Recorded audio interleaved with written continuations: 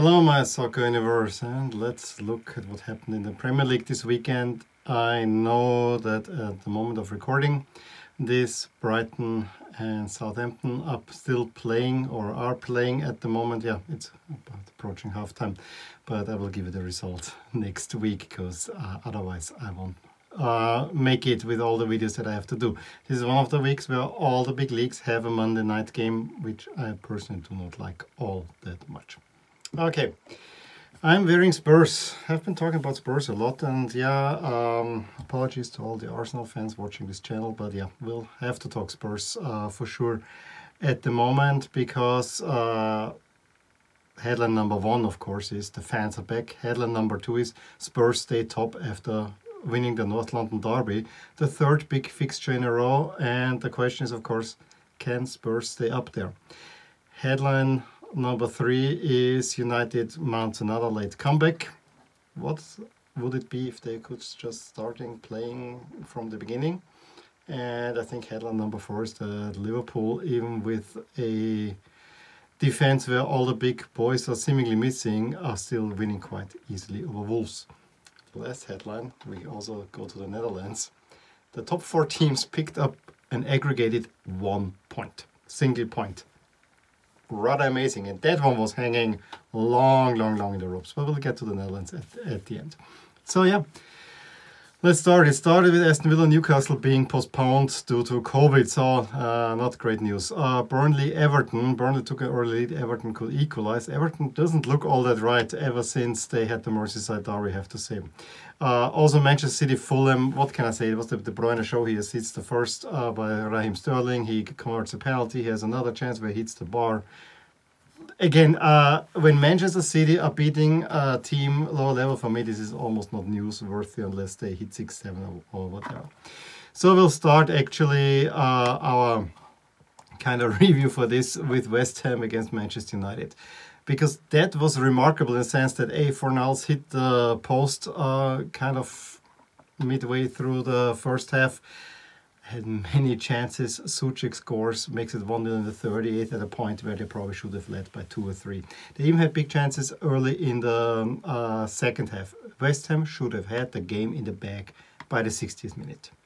Why do I say 60th minute? Well, because they're uh, certain Ole Gunnar Solskjaer super subs having already made some very important uh, substitutions. Bruno Fernandes coming in for Van de Beek, Rashford coming in for Cavani already half time, and then Juan Mata.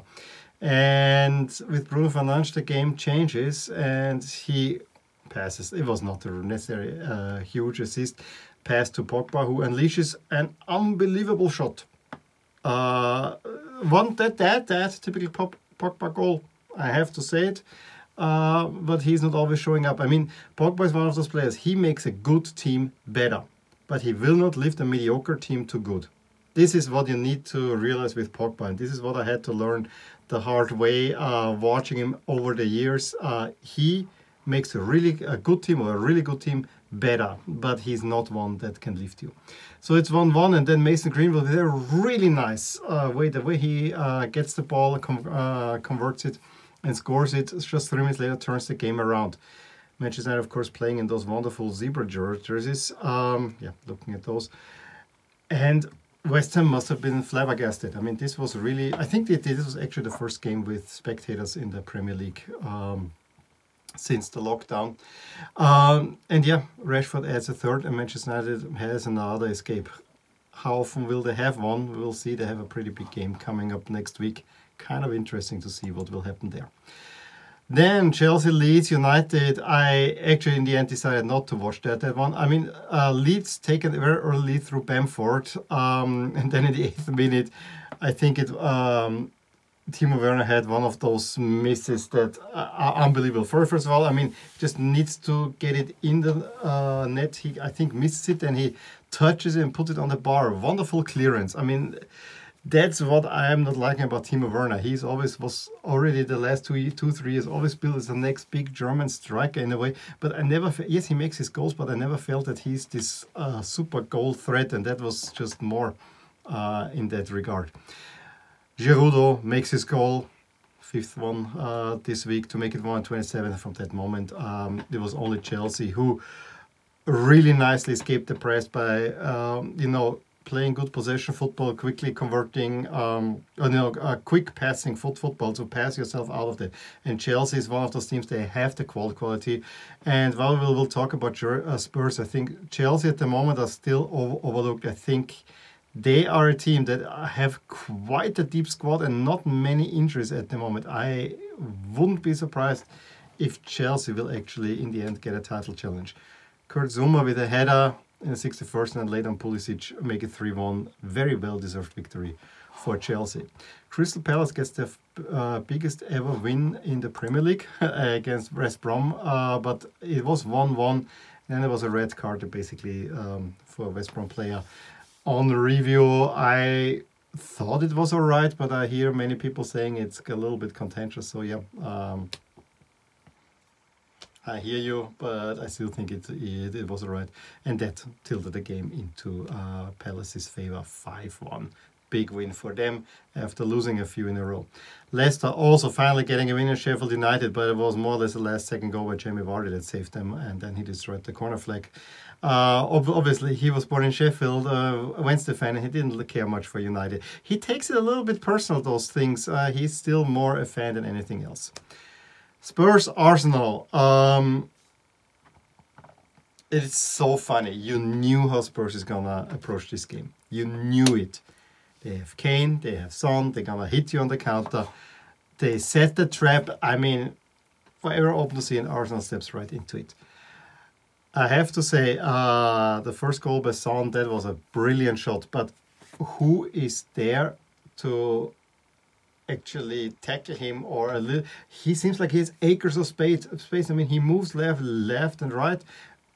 No one is really challenging him. He and he can take a great aim. It was a wonderful shot to make it one 0 uh, and then, so that was assisted by Kane, although Kane just made the midfield pass out on the side, and I think most of the work was definitely uh, Son.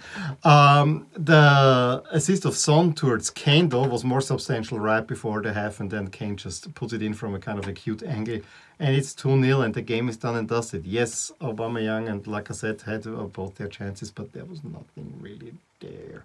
Uh, so I have to say, Arsenal, yes, they might have all had all the possession and so on, but uh, Spurs absolutely, absolutely dominated uh, that game in their own way, getting the points, getting the 30 wins. This was the third big Premier League game in a row. They had City at home, they won. Chelsea away, they got a draw. They now have Arsenal at home. Although one might question at the moment if Arsenal is really that big of a game because Arsenal, I've been talking there uh, in the last two videos, they are a rather disappointment overall. Sure, didn't help that uh, the stadium was only with Spurs fans, but that was to be expected. If you have only 2,000 people there, and actually the atmosphere was not all that bad. I mean, I know it kind of from uh, games in Austria. If there are 2,000 people in the people in the ground, that actually makes some noise. That's mostly enough to get something nice going. And you know, the English uh, like to sing a lot there as well. But yeah, my question is, can Spurs keep it up? And I have to say, they have rather a tough schedule. I mean, uh, fortunately for them, they're through in the Europa League because the next game is at Antwerp, but they might want to get first place. Then they have a should be an easy one against Crystal Palace, and then they play Liverpool. So they have two away games. Then they play Leicester, uh, and then Wolves away, and that's and then they end the year uh, against Fulham at home. So I think we will know by uh, the new year we will know whether Spurs really, really still is in there. I find it rather in interesting, and part of me would actually like to see that Spurs is challenging up there. But let's see if they will do something Spursy. I'm pretty sure about that.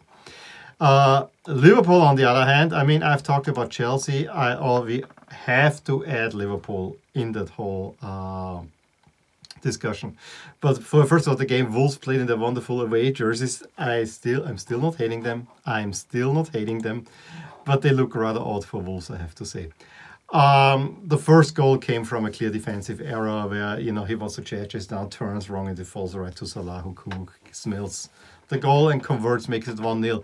And when Gini Wijnaldum with a wonderful shot makes it 2 0, it was only going to go one way. Um, I'm actually quite surprised uh, that uh, Kelleher in goal, he kept a clean sheet. And a defense of Robertson, Fabinho, Matip, and Williams is also keeping a clean sheet. Liverpool digging deep and still having quite some uh, punch. I mean, there's also Jones playing. When Adam Henderson, I mean, that was the three on top, of course, the Holy Trinity. Uh, that always adds quality. But Liverpool seems to be astonishingly resilient. And I will still say that we have talked Chelsea, we have talked Spurs. I mean, Man City, at the moment we don't know, but uh, as we'll see, I think Man City is still to be considered the deepest squad. But Liverpool is really surprising me. I think Liverpool can make a run. Um, also, kudos for Nelson Semedo for scoring one of the most bizarre own goals by, you know, he's tackling, tackling, and tackling into the goal. And that was weird uh, in every regard. So, yeah, let's look at the table ahead of um, the South Coast clash. This is now how the actual table is, and we'll see that the both Manchester teams are moving up, and they will play now in the Manchester Derby, and we'll see.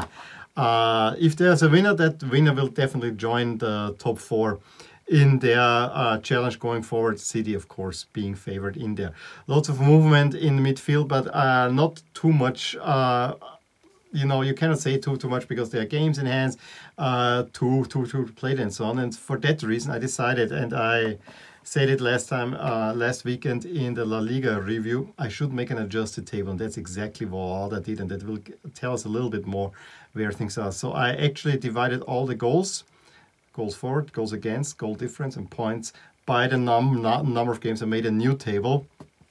And you see, according, according to the errors, if the team is now placed better than in the actual table. And we see Southampton and Aston Villa. Yes, Southampton has, has only one game in hand, but they are rising quite some up. But it's still the, um, um, you see kind of the top six are relatively close together uh, with Spurs and Liverpool still a uh, little bit in front.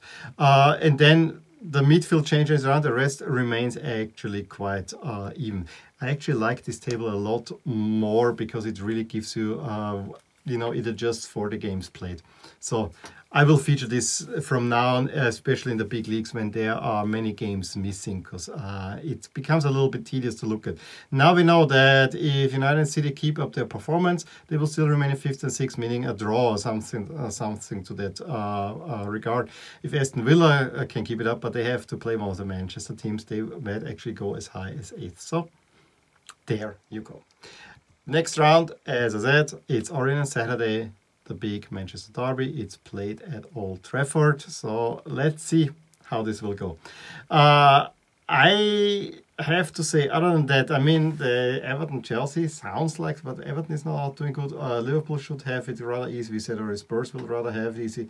Um, solid all points for me to Leeds against West Ham, and Leeds has also been everything but convincing at the moment. Let's move to the Eredivisie a weird round.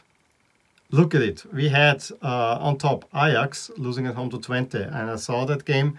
Yes, Ajax had some chances, but Twente rather deservedly won that one. They really went for the jugular in the end and won this one rather convincing. I mean, uh, Menig gets the first goal on a car contract and Tadic with a penalty. Stupid foul um, given. But then again, many uh, gets it very late on the winner, and there were more chances for Twente. There was uh, quite the chances there to uh, and decided even sooner. Ajax clearly a little bit preparing for that final against Atalanta in the midweek. Second place team Vitesse with a win could have uh, gone up to um, Ajax. No, they lose two ones as well. Feyenoord nil nil against Heracles. Also surprising. AZ 1-2 versus Groningen. And then Heerenveen against PSV, I saw high highlights on. That was the first time, it was all PSV. They only get a goal, wonderfully uh, played goal uh, through Götze. Yes, that Götze from the 2014 World Cup final to make it 1-0. But in the second half, they suddenly tur uh, Heerenveen turn, turns around. Veerman and Van Bergen turned around. There was even a big chance where the goalkeeper has such a, a great kick out. What was this, the 20? There was one, uh, really, the goalkeeper, great chances. Heerenveen then had the chance actually to win this one. Yeah, the, that kicker was from uh, was uh, from Twente. Sorry, sorry about that, but uh, you know everything kind of goes together. Too many things going on. But Heerenveen turned the game around through, uh, through Veerman and Van Bergen, and had then in stoppage time the chance to win it. Big chance, and right on the uh, counteract from that, PSV equalized, and then it got even crazier. Uh, there was a penalty given and a red card for uh, a penalty for uh, Heerenveen and a red card for PSV, but then there's an offside. So it all doesn't, there's no penalty, no red card. And then PSV could have won it uh, later as well. Absolute nuts game. In the Netherlands, we don't have an adjusted table here yet nothing changed except that with that loss, Ajax lost a few percentage points of winning a championship. It's still very, very comfortable uh, for, for them. Yes, PSV got now within three points. And yeah, AZ and Utrecht are the only teams that are in there. AZ losing the first game of the season. So the only unbeaten team is Feyenoord. But they have too many draws. That's always not a good thing. In the next round, uh, I also think that there's not a huge clash. I mean, Twente AZ now is interesting. Ajax should win against Zwolle, but should is always. Let's see what Vitesse and Heerenveen uh, do. And, you know, Venlo against Feyenoord. Goal alert, goal alert, goal alert. I don't think it will be 13 there either and PSV plays Utrecht. So yeah, this ends our run through Northwestern Europe for now, for the leagues that I'm in interested in, um, at least for this channel. Let me know if you can add anything to the games that were happening uh, this weekend. Give me a thumbs up if you enjoyed this video, subscribe to my channel if you want to see more, and I will talk to you soon. Bye. Hey there, I really hope you enjoyed this video and if you did, here are some videos and playlists that you might enjoy too. Also, please consider subscribing and clicking the little bell icon so that you get updated whenever something happens in my soccer universe. With that, have a wonderful day. Bye.